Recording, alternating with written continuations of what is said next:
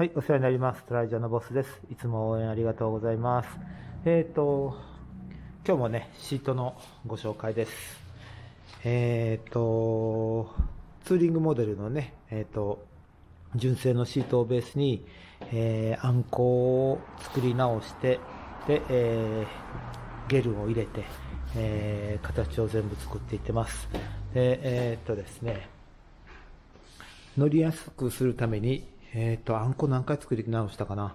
結構何回かあんこを作り直して、えー、お客様の一番いい形に沿うようにという形で、えー、作りました。えー、ご遠方のお客様なんですが、えーと、いつも来ていただいて、革の配色や、えーと、デザインの仕方ね、いろいろ打ち合わせて作ったものです。こうやって見てわかるかな。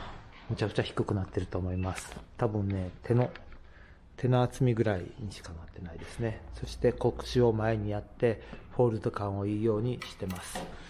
えっ、ー、と、そうやな。サイジングを、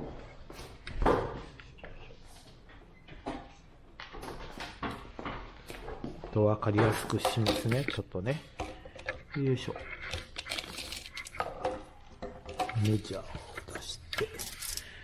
えっ、ー、と、多分、どれくらいか見えますかね。うんと、厚みは6センチから7センチぐらいの間で、で、幅。幅は一番座ってる広いところでも35センチぐらい。だから多分フレームと同じぐらいですね。で、ほとんどこう足つきが、えー、来るところは30センチ以内になってると思います。で、この、まあ、ベロのところあれなんですけど、この、まあ、純正のこの当たるところから後ろまでのこの腰の距離がえー、35センチですね。だから、えーと、ちょうど人がすっぽり入る形になってると思います。それと、皮を厚みのある、えーと、脂肪のある皮と光沢のある皮と、えー、艶消しの皮で、えー、こんな形に作ってます。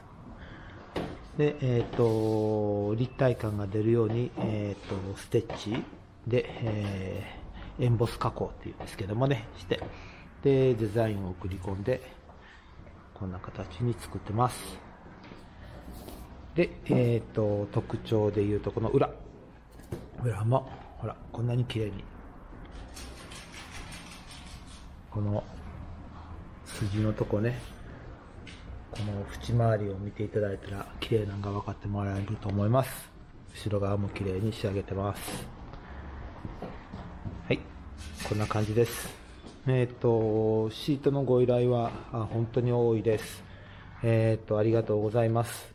で、えっ、ー、と、そうやな。